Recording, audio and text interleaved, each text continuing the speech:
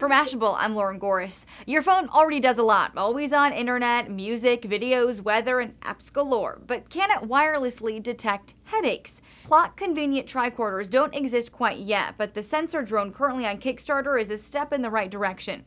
It's a keychain sized dongle that connects to your smartphone via Bluetooth and pulls down a bunch of environmental information. It works as a breathalyzer, gas leak tester, carbon monoxide monitor, light intensity meter, a stud finder, and a super local thermometer, barometer, and altimeter. Data gets piped to a companion app, and you can use other third party apps for the same measurements. The four man team at SensorCon is making their code open source so more developers can create apps too. It's designed for personal use, but the team points out Sensordrone has large scale environmental applications. Instead of New York's 10 current air quality monitoring stations, for example, think of what a huge network of sensor drones could do.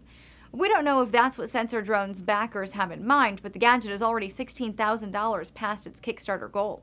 For Mashable, I'm Lauren Goris.